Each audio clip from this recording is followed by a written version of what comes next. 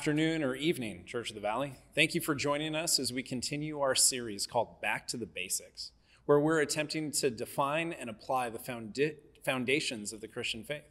We began the series about a month ago with a message on the gospel of Jesus Christ, the reality that we are not saved by what we do, but whose we are.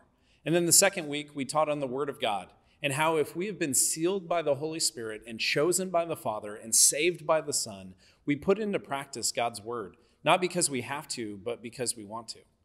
Then last week, Pastor Mike taught on confession, which pointed us back to first and foremost that confession is all about our relationship with God. Today, we're talking about generosity. And for the first time in 173 weeks that I've been the lead pastor of this church, we're going to address money in the church in a sermon from a biblical perspective. I share that because I know that a consistent thing I hear from people regarding the Church of Jesus Christ at large generally is that churches just always talk about money. But I have foregone that for 1,211 days as I have been the lead pastor of Church of the Valley, not because it isn't important, but because the gospel and understanding our identity, our self worth through the lens of the good news of Jesus Christ has and will always be our intent and target as a church. But today, we're going to unpack how generosity is a supernatural response to understanding the gospel. Let me say that another way. We release our control of earning and rely and depend more on God as He and what he says that we are. And he says that we are his. He says that we are forgiven. And we do all of this through the lens of the gospel. And when we understand the lens of the gospel, there is this response, which is generosity. I know for a lot of us, money holds a pretty prominent place in our psyche and identity. We spend an average of 40 to 50 hours a week working to provide for our families or get ahead or just keep our heads above water to be able to support ourselves and maybe, just maybe, save some money for a rainy day or some future endeavor.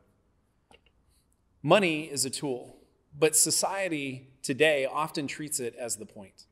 Greed and self preservation, luxury and pleasure become a placebo version of our goal rather than as a spirit indwelled believer that we should communicate that our target really ought to be the glory of God being given to the God of the universe. So, prosperity preachers and charlatans and con artists distort the gospel message and the scriptures to bend people to give according to the preacher's will rather than the word of God. And that is evidenced by how the leadership uses the money for their selfish gain. Today, I want to cover giving, or as some of us know it as offering, or in some cases, tithing, which I can already feel some of you going, I don't want to listen to this. Because maybe you feel guilty because you don't give towards the ministry of God financially. I want to point us back to something that Mike said last week that guilt is the wrong tool to move us to true repentance. Guilt is a wonderful tool to get someone to do something for the wrong reasons right now. But biblically, we trust that God transforms people over time, and it is not a one and done, but a progressive change in his people. So Jesus seemed to talk a lot about money in the scriptures. I'm sure verses may even come to mind as I say that, but here's the thing even though he spoke a ton about money, especially found in the four gospels Matthew, Mark, Luke, and John Every time he spoke about money, finances, or monetary gain, he was speaking of matters of the heart. And we're, and we're better to find Jesus speaking of finances based on our heart posture than the Sermon on the Mount, where Jesus spoke to a crowd. They were near a, a mountainside and, procl- and uh, proclaimed the attitudes that be in his followers, also known as the Beatitudes and spoke of not what people must attain to be justified, as if they could save themselves, but how the Holy Spirit leads us to behave if we have truly believed the gospel. Let me say that another way. What Jesus speaks of is not what we must do to be saved, but what we do because we have been saved already by Jesus. It's a subtle difference, but it's a very important one. So let's look at Jesus' words regarding money and how that and and what money can actually do for us. He says in Matthew chapter 6 verse 19, "Do not store up for yourselves treasures on earth, where moths and vermin destroy and where thieves break in and steal." Jesus is alluding to hoarding things or striving for material possessions as our target and goal. And it should not, nor needs to be, our motivation for our lives, our work, or our identity. Why? Well, because they decay, for one thing. There's nothing we own and can attain materially that doesn't end up in a yard sale or in the dump eventually. And these possessions are at risk of being stolen away from us because if they are so attractive to us who have worked for them, they're probably just as attractive to those who want to steal them. And the covetousness of the heart that God calls out in the Ten Commandments in Exodus chapter 20, verse 17 goes like this You shall not covet your neighbor's house. You shall not covet your neighbor's wife or his male or female servant, his ox or his donkey, or anything that belongs to your neighbor. So listen, don't covet your neighbor's donkey. I'm kidding. I mean, you shouldn't. That's what he says, but he's pointing to this covetedness, which is a plague and a disease that the human heart, the natural instinct of a fallen person, is to want what others have, to be jealous when others receive things that we think we deserve. We may at first show happiness for others who are succeeding, but without a moment's notice, our attitude may change to why do they get that? Why do they deserve that? And generally, they didn't do anything, but our hearts are exposed when we once again think that God's economy and his gospel are based on earning rather than on grace. This was and probably still is an issue for me. I have this disposition to think that the world revolves around me. I think I'm Truman Burbank in The Truman Show way too often. Good morning. Morning. Good morning. Oh, and in case I don't see you, good afternoon, good evening, and good night. And so I become enamored with what I think I deserve in comparison to others around me. let me just say comparison not only is sinful, it doesn't at all glorify God, nor is it logical. Because you will always find someone subjectively that is better or worse than you are. And God does not grade on a curve, He grades against Jesus. And yet, Jesus lets us copy off of His paper, spiritually speaking. So don't store up treasures on earth. Don't aim for the most stuff. Don't use your earnings to glorify yourself. But what does Jesus say next in Matthew 6? In verse 20, he says, But store up for yourselves treasures in heaven where moths and vermin do not destroy and where thieves do not break in and steal. Store up treasure in heaven. Okay, so is this a, a spiritual savings account? Not exactly. Once again, Jesus isn't speaking literally of money as much as he is speaking of a heart's posture to seek first the kingdom of God with Jesus Christ at the center. But store up treasure in heaven means to have a heavenly perspective in this earthly life. I've seen how this passage gets perverted by people intending to make this more, most about money rather than the heart and attempt to guilt people into giving away their riches for the blessing of the church or the preacher and any and everything but God. To store up treasure doesn't mean you sell everything you have and give it to a religious entity, but it may mean that you entrust your finances, a, a percentage or an amount, to God's work through his people. This isn't the only application, but it is one that we tend in our flesh to argue against because we have heard the horror stories of the abuse that churches and religious organizations have used the finances of a community of believers to fund something very selfish and ungodly. But let's begin with what we know as an offering. Offering is something that we see throughout the Old Testament that was a way for those who were God fearing individuals to give back to God. There were burnt offerings. The, purpose of a burnt offering was for general atonement of sin and expression of devotion to God. The instructions for a burnt offering are given in Leviticus 1. The offering could be a bull, verse 3, sheep or goat, verse 10, dove or pigeon, verse 14. The animal was to be burnt whole overnight. Though its skin was given to the priest, the burnt offering was likely the earliest type of atonement offering in the Old Testament. Then there was the grain offering. The purpose of a grain offering was this voluntary expression of devotion to God, recognizing his goodness and his providence over his people. The instructions for the grain offerings are given in Leviticus 2. Generally, it was cooked bread or baked, verse 4, grilled, verse 5, fried, verse 7, roasted or made into a type of cereal, verse 14. Though always seasoned, verse 13, unsweetened and unleavened, verse 11. But unlike the burnt offering, only a portion of the offering was to be burnt. The remainder went to the priests for their meal.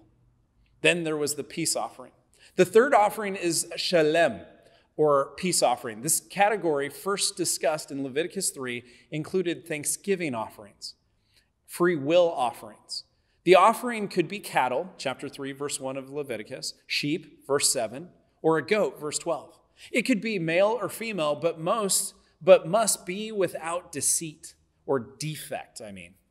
It was a thanksgiving offering. It could also include a variety of breads. The purpose of the peace offering was to consecrate a meal between two or more parties before God and share that meal together in fellowship and peace and commitment to each other's future prosperity. Then there was the sin offering, the fourth offering, which was called the shatath. It literally means sin or sin offering. This offering is sometimes seen as an offering of atonement for unintentional sin, according to Leviticus chapter 4. Similarly, it's sometimes viewed as a guilt offering, removing the consequences for lack of perfection. But as an atonement offering, it contained elements of a burnt offering, yet at the same time had elements of this peace offering. Conversely, some of the, the sins for which one needed atonement were not moral, but rather matters of ritual, uh, uh, ritual impurity. As such, some have proposed the term purification offering instead of sin offering. And the primary purpose of this offering is not to atone for sins, but rather to purify oneself for re entering the presence of God. And lastly, there was something known as the guilt offering. But unlike the English word guilt, this does not refer to a matter of one's conscience, but rather just something one owes on account of a sin that they've done. Other suggestions for this name of this offering or could be the trespass offering or the uh, reparation offering. And the purpose of this offering was to make reparations for one's sins. As such, this offering had a specific monetary value. And one who owed another on account of a debt due to sin could repay it in silver rather than by sacrificing a ram. In addition, there was a 20% fee was assessed and given to the priest who mitigated the debt. Now, what's fantastic is we now have an offering in Jesus Christ who paid all of the debt. The sacrificial system of the Old Testament was a means of grace by which the relationship between God and humanity begins to be restored. But ultimately, the sacrificial system was inadequate, and none could repay the debt of life that was owed until Christ defeated death once and for all. In the age of the church, we live in light of Christ's amazing sacrifice for us while also offering our own lives as living and holy sacrifices, according to Paul in Romans 12 and Peter in 1 Peter 2. But let me show you how the writer of Hebrews says it. He says in Hebrews chapter 10, verse 1 the law is only a shadow of the good things that are coming, not the realities themselves. For this reason, it can never, by the same sacrifices repeated endlessly, year after year, make perfect those who draw near to worship. Otherwise, they would not have stopped being offered. For the worshippers would have been cleansed once and for all and would no longer have felt guilty for their sins. But those sacrifices are an annual reminder of sins. It is impossible for the blood of bulls and goats to take away sins. Therefore, verse 5 when Christ came into the world, he said, Sacrifice and offering you did not desire, but a body you prepared for me. With burnt offerings and sin offerings you were not pleased. Then I said, Here I am. It is written about me in the scroll. I have come to do your will, my God. First, he said, Sacrifices and offerings, burnt offerings and sin offerings you did not desire, nor were you pleased with them, though they were offered in accordance with the law. Then he said, Here I am. I have come to do your will. He sets aside the first to establish the second. And by that, we will have been made holy through the sacrifice of the body of Jesus Christ for once for all. So, I just spent a bunch of time kind of doing a real quick overview of offerings in the Old Testament. So, why do we share about offerings? Because in the Old Testament and today, we can totally misunderstand why we do an offering. In the case of our treasure, specifically by giving to the church of the living God. For some, they may think that by their amount or their consistency of giving, that that secures them some type of say in what happens within the church. And if you are a consistent participant at Church of the Valley, you do have a say. But not because of what you give as if you were a shareholder, but based on your care and your faithfulness to be part of the community of Church of the Valley. Many call an offering within churches tithes and offerings. We tend to call it an offering, not because we don't agree with tithes, but because tithes was an Old Testament term which simply meant a tenth, a tenth of your income. But in the Old Testament, it didn't just mean your income, it also meant a tenth of your grain and other things that you would spare unto the Lord. 10% is a fine number, but we don't want to tell people that the percentage in which they give justifies them because it doesn't. Some people within our church community give far greater than that number, and some are still striving to eventually give 10%. This is something that is between you and the Lord. Let me say that again. This is something that's between you and the Lord. And the best thing we can do is educate you biblically on why we give in the first place. And then within your personal relationship with God, and the indwelling of the Holy Spirit and the reading of God's word can work out what amount. Percentage and frequency, all of those things are things that you decide in your relationship with God to contribute towards the work of ministry at the church that you are a part of, and also elsewhere if you have other people that are missionaries and people within your sphere of influence that you want to give unto because the Lord has uh, pointed you towards that. But all of this is for the glory of God's name.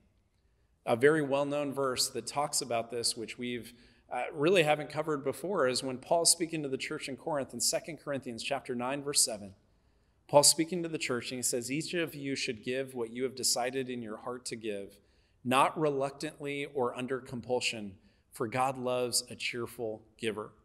So, as Paul speaks to the church in Corinth, he points out the heart behind giving. It is not a guilt offering, nor a reaction to an emotion. It is an act of faith out of thanksgiving of the one who has given us everything. So, Jesus then says in Matthew 6, verse 21, he says, For where your treasure is, there your heart will be also. Whoa, whoa, whoa, Jesus. What do you mean where my treasure is? I got stuff I need to buy. But yet, Jesus isn't saying that the needs we have are what take authority over our devotion to Christ. We need far less than we think. But the fact is that where we posture our debit card and our credit cards and our Amazon Prime account and whatever other materialistic thing that becomes the apple of our eye, these things compete with the sufficiency of God's saving grace and wonderful love for his people. So, knowing that in the gospel we find our treasure in who God says we are, our identity in Jesus Christ, that treasure, that entity of worth is what Christianity is all about. It's not about finding our worth in this world, but finding our worth in our reflection in the eyes of Jesus Christ. See, we earn nothing, but God gifts us his son. We earn nothing, but God gifts us his righteousness. We earn nothing, and yet God gifts us his spirit. We did nothing right and earn nothing, and he gifts us a new heart, and he gifts us his word. Are you kidding me? We do nothing, and God gives us everything in Jesus Christ. But what is our response? What do we do when we grasp the gospel in its beauty and entirety? Look at Jesus using a parable regarding what the kingdom of heaven is like. In Matthew chapter 13, verses 44 through 60 through 46, Jesus says, The kingdom of heaven is like a treasure hidden in a field. When a man found it, he hid it again, and then in his joy went and sold all he had and bought that field. Again, the kingdom of heaven is like a merchant looking for fine pearls. When he found one of great value, he went away and sold everything he had and bought it. Jesus doesn't speak of an application of what someone must do to receive the gospel. He speaks to the heart of how important the gospel, salvation, inheritance in the kingdom of God really is, because it's worth everything. That's why he uses these two parables to illustrate how much someone who grasps The gospel is willing to forsake things of this world. In verse 44, Jesus says this man, in his joy, goes and sells everything he has. This is not begrudging submission, nor is this compulsory. It is in joy. It is in his laughter. It is in his contentment. He has realized that the kingdom of heaven is worth far more than anything in this world has to offer. And when we truly embrace this, we don't look at our lifestyle or our comfort as the end all. We look past that. We look past this life, in fact and realize that the investment we can have and do have in the gospel far out returns any investment we have in this life and in this world. We all tend to have what I would call diversified worship. Here's what I mean by that we may be committed and holy completely in front of other people to the Lord. But what about in the secret places of our hearts? What about when no one is looking? What is it that we strive for that isn't God's will or God's glory? Sometimes it's obvious, sometimes it's super subtle. But this is something that we as believers need to embrace and confess and repent of as God illuminates what idols we really have. For many, it's money. Not money in and of itself, but what money provides us. We believe that money provides us safety and comfort and stability and pleasure. But when we are yearning for those things from a tool, we tend to worship the creation rather than the creator. In 1 Timothy chapter 6 verse 10, Paul says to Timothy, "For the love of money is a root of all kinds of evil. Some people eager for money have wandered from the faith and pierced themselves with many griefs." This verse gets misquoted all the time. It doesn't say that money is the root of all kinds of evil. It says that the love, the admiration, the striving for money is the root of all kinds of evil because it leads to greed. It leads to idol worship and attempting to fulfill what only God truly can provide, which is comfort and shelter and the providing of our needs. I don't know how you sin, but one thing I know about sin is that it may look different to other people.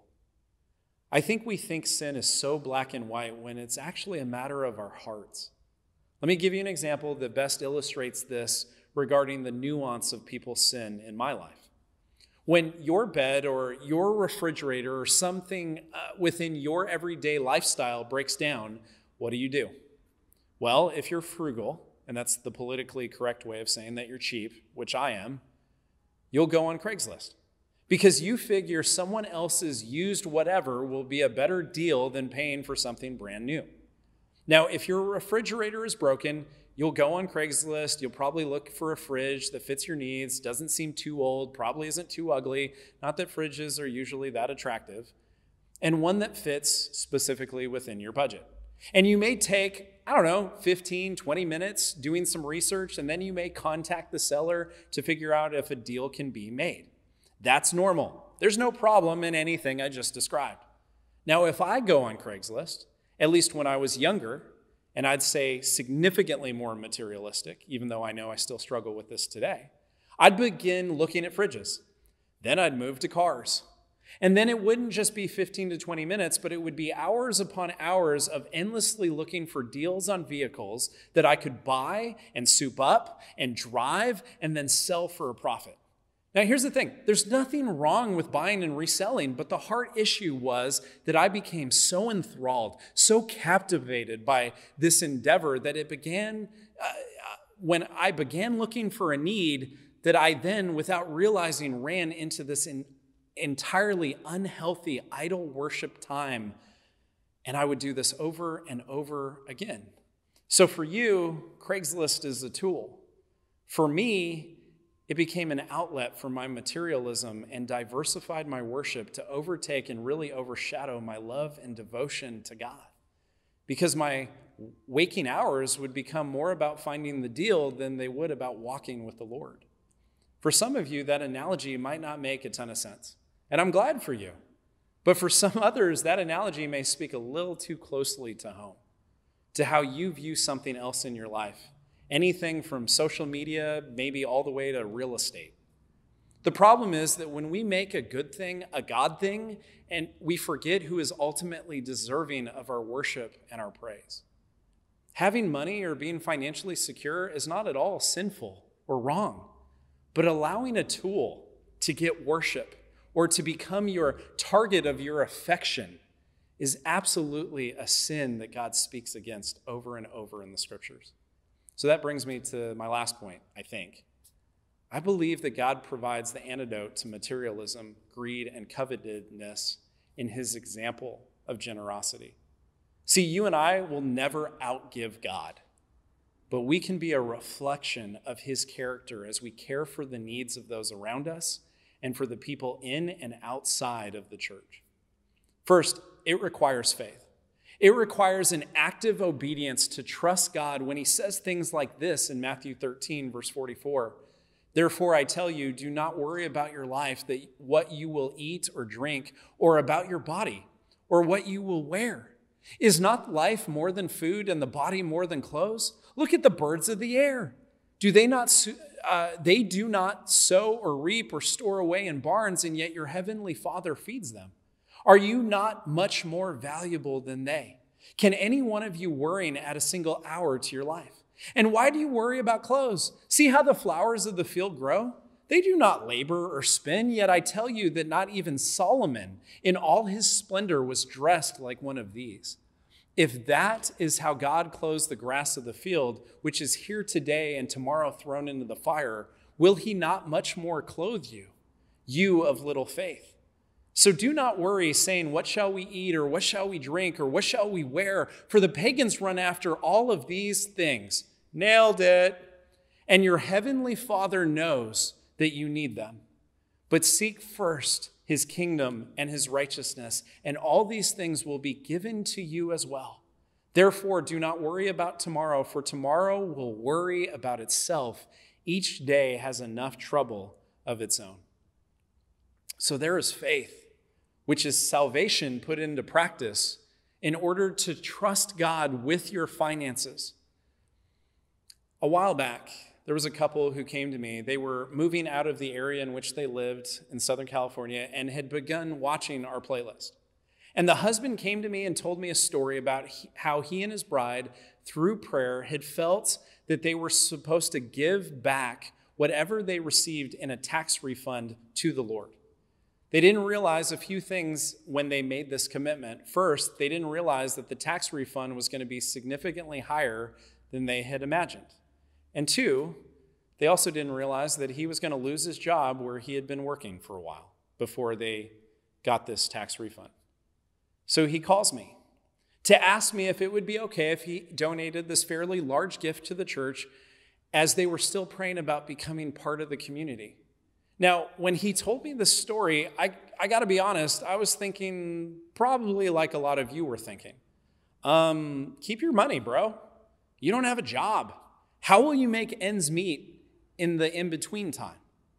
But as I talked with him, I could tell that this was a personal conviction that wasn't one that necessarily was going to be a natural response to losing his job, but a supernatural response to trusting their God. So he gave the gift to the church. And if I'm honest, it helped us as a church. It kept our staff being paid like normal, even through these past seven months where nothing has been normal and giving has been a little bit down. And guess what? We talked about a week after he had given this gift. And you know what the Lord did? You know what happened? God provided for their needs. He got a new job in this field that he had been studying in this area that pays more than he was making before and is perfect for his family. Now, I asked permission to share that story, even though I didn't tell you who they were. And I don't want you to hear that story and think, well, I just need to give large sums of money to the church, and then God is obligated to give me favor, fortune, and my heart's desires. But I, I tell you that story to remind us that faith looks unnatural, especially to a world that is after riches and wealth. But our faith practiced in giving towards the kingdom of God is not something that the Lord ignores or forgets to use for our sanctification. And one final point Generosity is a supernatural response to the gospel of Jesus Christ. If we really believe the gospel, how could we not want to go out of our way to help others be made whole? Today, we've talked a lot about money and the realization that our giving of treasure is a symptom of our belief in the gospel and faith in our creator and provider. But you know, it's not just treasure, it can also be our time and our talents that we may be called to give. If we believe the gospel, being generous with our time and our talents and our treasure are not something that should be as surprising as they are to people within the church. Why? Because we believe the gospel that God gave and we received, not because we earned it, but because God is so good and gracious that He would do for us what we were unable to do for ourselves. Our generosity is not at all because we want glory for ourselves or credit or kudos or likes. We, as believers in Jesus Christ, are generous with our time and our talents and our treasure because each of them are gifts from God that we just give a portion back to outwardly express what we believe truly inwardly. Back in the middle of the summer, uh, my wife and I had found out that God had provided us with our fifth pregnancy. But due to a lot of complications, it was and still is somewhat of a high risk pregnancy that we have had to go and have a lot of procedures and checkups to monitor how this baby is doing. But so far, so good by God's grace. But I'll say this we were shocked to find this out as we believed we had made the proper precautions to not have become pregnant. So our heads were spinning in this moment and realizing that everything we had planned for our future life was not at all what God had planned for us. Well, the very next day, after we found out that we are with child, uh, a a family that has long appreciated my ministry, known as Compelled, FaceTimed with me to let me know that they had been praying and wanting to partner in a home with the Rileys so that we could continue to do ministry in Santa Clara where we believe God has called us. Now, timing isn't always obvious, but sometimes it is. And as this couple made this point to say that since February they have been thinking and praying through this idea, Honestly, this was hilarious to me, but also awe inspiring as I remember in February, before the pandemic even started, getting on my knees and praying to God and asking Him that somehow, some supernatural way, that He would provide a home for our family, that we wouldn't have to continue to move, and we could lay down roots as we've moved nine times in our 17 years of marriage. So, as this family began to describe to me how the situation would take place, if we decided to receive their offer. It was obvious that even though much of what they were doing was a good business idea, it was, and it was very, uh, it was uh, written up very fairly. They have gone above and beyond just a financial partnership that would hopefully incur some equity in a home. But they've done more than enough to help the Rileys secure their forever home in Santa Clara. Now, I want to make known that even though they essentially went halvesies on a house with us, and that that is unbelievably generous. And just because I'm a pastor of a church who struggles teaching and talking about money because I've seen it used for selfish ambition so much, I think when some people hear that we were blessed with this gift through this family, that they somehow think that we deserve this. Listen, just because I serve Jesus in a pastoral role, I don't deserve this gift at all. In fact, I'm a sinner who has been saved by grace, who truly deserves death. But God, in his generosity, gives me life in Jesus Christ. So, on top of this generous gift with this purchase of this home through this family, they also made a point to help us remodel the home so that we could be in a place that really felt like this house was truly a home and it was ours, and not like the nine different rentals that we went to and from. Now, listen, this family not only provided money that most of us will never see in a bank account ever, and I don't know if I could uh, calculate that amount of money, but they also did this at a time in a way that was a disadvantage to them. As I know there were tons of ways that they could have used their money to enjoy this life and their life in a more personal way and, and enjoy where they live and do all of these things for themselves. But like the gospel of Jesus Christ, Jesus didn't use his advantage for his own personal gain, but used it so that you and I could be made whole. He didn't care about his comfort or what he would gain. He cared about obeying his father perfectly out of love inspired obedience. And he took off his royal robe and he came and he dwelled among us and he lived the life we couldn't and he died the death we should have died and he physically rose from the dead. As Paul points out to the church in Philippians in chapter 2, in verse 6, he says, Who being in the very nature God, did not consider equality with God something to be used to his own advantage. Rather, he made himself nothing by taking the very nature of a servant, being made in human likeness, and being found in appearance as a man, he humbled himself by becoming obedient to death, even death on a cross. Therefore, therefore God exalted him to the highest place and gave him the name that is above every name that at the name of Jesus, every knee should bow in heaven and on earth and under the earth, and every tongue acknowledge that Jesus Christ is Lord to the glory of God the Father. And that gift of generosity and that grace is why people will give up financial safety to make it so others can be made whole. That is why people will give up time and talents to love other people and point them to Jesus. We don't give because we have to in order to be justified. We give generously and cheerfully because God first gave us his son. And giving is not a guilty response to the needs of people.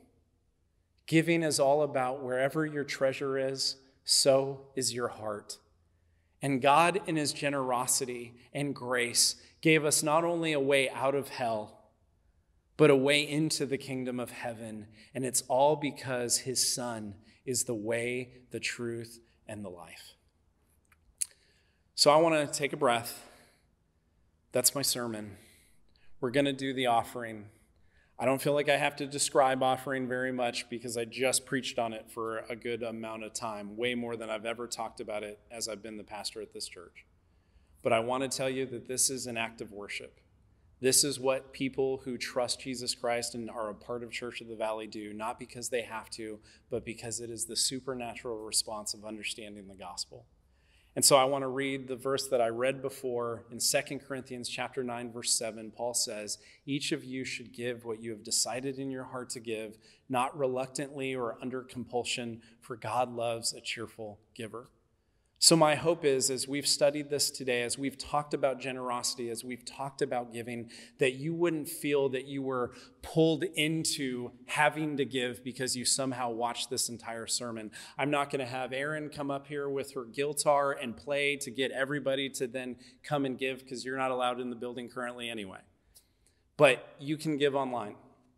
You can you can use uh, the website and you can go to covalley.com forward slash give or giving, and you can do it via PayPal that way, or there's also another way to do it out of your bank account, or you can simply mail a check. But it's just the opportunity that we have as worshipers of Jesus Christ to give back a portion that we've decided in our own hearts with our relationship with God to do. And so I hope that you've heard this message and even this encouragement of giving as an opportunity for you to see the reality that God's at work through the generosity of his people. Let's pray. Father, that uh, it's been a long time coming, and I don't talk a lot about money, and I know, and you know, Lord, how money has been an idol in my life, in my past, and uh, and God, there's no there's no surety that it won't be in the future. And so, God, I cling to your gospel. And I cling to the economy that you have of faithfulness, that you work through your people and you give us faith to trust you. And so, Lord, I pray that those who decide to give, not under compulsion, but out of love and admiration for their God, that they would give cheerfully. And that, Lord, you would take that giving and you would make much of Jesus Christ through it, Lord. Would you make disciples of all nations and generations? Would you protect your people, and would you continue to give us the opportunity to proclaim your gospel to those that are in need while allowing us to be generous with the things that you've given us? We love you, Lord. We pray this in Jesus' name. Amen.